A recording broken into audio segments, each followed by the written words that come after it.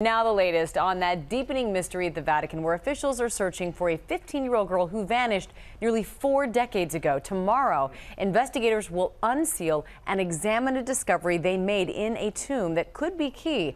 ABC's Will Reeve has more from Vatican City. Will, good morning. Amy, good morning. Last week, the search for Emanuela Orlandi heated up when an area believed to contain the bones of two 19th century German princesses turned up empty, but nearby bones and human remains were found. Now, tomorrow morning, just behind me here in the Vatican, officials will unseal those containers, hoping to uncover clues in a decades long mystery. More questions will soon be answered in that mystery at the Vatican as two containers bearing human remains will be unsealed tomorrow, perhaps leading to clues to the four decades old case of 15 year old Emanuela Orlandi. Anytime there's a mystery, a potential scandal with any hint of a Vatican involvement, it's going to take on a life of its own. It sounds like it could be the newest Robert Langdon story. There's a hidden trail through Rome itself. I need access to the Vatican archives. The teenager vanishing 36 years ago was never seen again. You have a young girl who just disappears without a trace on a Roman street.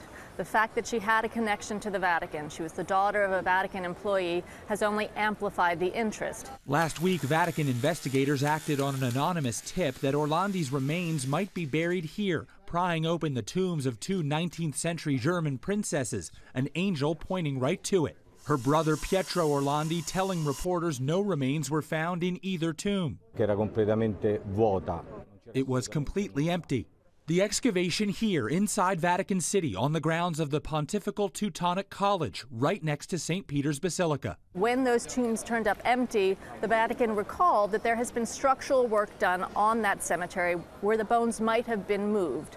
Uh, so the continuing excavation work was done to locate the bones of the princesses, um, and apparently they have found something. Those empty tombs leading officials to investigate nearby, where they soon made the discovery of the containers under a stone slab, leading to the belief that those remains could belong to Orlandi. The Vatican will formally open this new container that it found underground uh, where it discovered some bones. Tomorrow, the Holy See plans to unseal those two containers. Forensics experts, the Orlandi family, and descendants of the princesses have all been invited.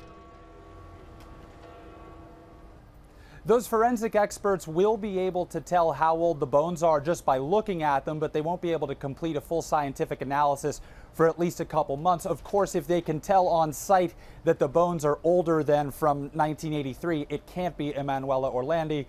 And the mystery continues, Amy. Yeah, it's so fascinating. How helpful has the Vatican been in this inquiry?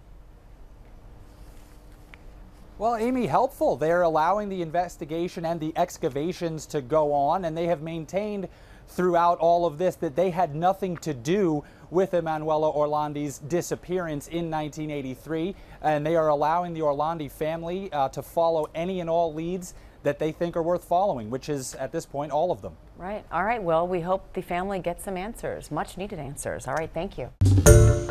Hi, everyone. George Stephanopoulos here. Thanks for checking out the ABC News YouTube channel. If you'd like to get more videos, show highlights, and watch live event coverage, click on the right over here to subscribe to our channel. And don't forget to download the ABC News app for breaking news alerts. Thanks for watching.